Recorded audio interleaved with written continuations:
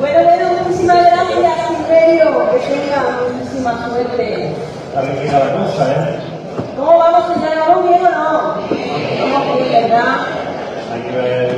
La Hay que ver, verdad que todo bello de punta y qué bonito. El final está bonito, está bonita. Bueno, a continuación, la siguiente concursante nos llega desde Torralba de Calatrava, Ciudad Real. Y en esta segunda parte pues, nos va a interpretar unos tiempos del gran Montorio que cantó una leyenda de la copla como fue Antonio Molina en la película El Cristo de los Faroles. Estoy segura que algunos de ustedes la han escuchado pero con otro nombre que era Ante la imagen de Cristo. Hoy esta bueno, pues, lo va a hacer con todo el respeto y el cariño del mundo y por supuesto con toda esa devoción que le tiene a esta imagen desde que hace muchísimos años comenzó a venir a Córdoba a dar clases. Un fuertísimo aplauso para Laura García.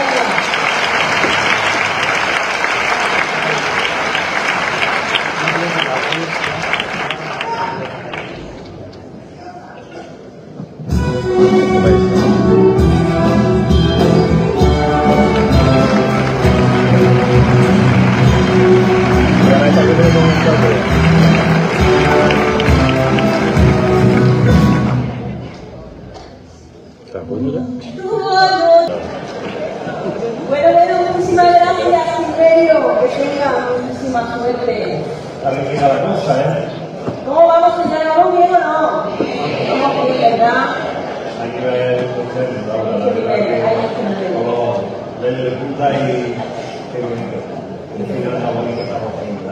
Bueno, a continuación, la siguiente concursante nos llega desde Torralba de Calatrava, Ciudad Real.